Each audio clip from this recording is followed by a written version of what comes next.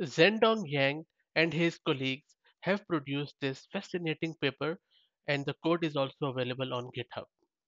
The idea behind this effective whole body pose estimation with two stage distillation or DW pose is that it introduces a two stage pose distillation method.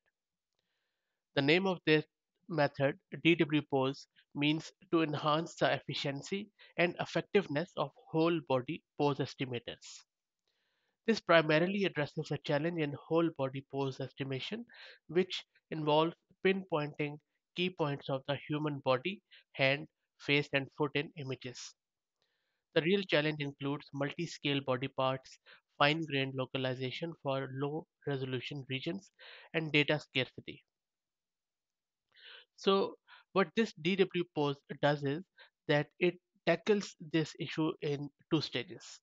In the first stage, it implements a weight decay strategy and uses a teacher's intermediate feature and final logits.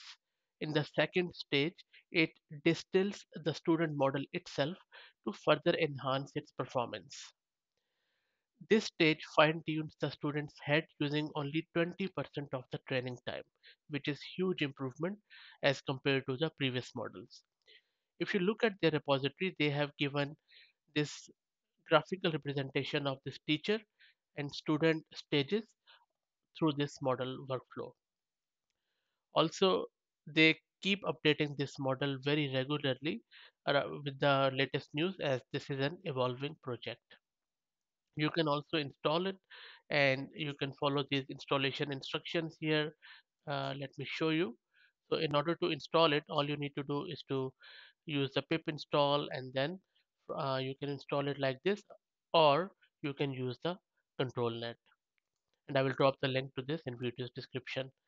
You can also um, see different models and benchmarks here. For instance, uh, look at these um, benchmarks as how this model is performing, which looks pretty good uh, at the moment. And you can also download this data from the Google Drive. I will drop the link as I said in video's description so that you can go and uh, check it out and uh, with different examples, data set, and so many other interesting bits and pieces around this new research project. I hope that you liked it. Please consider subscribing to the channel. Thank you.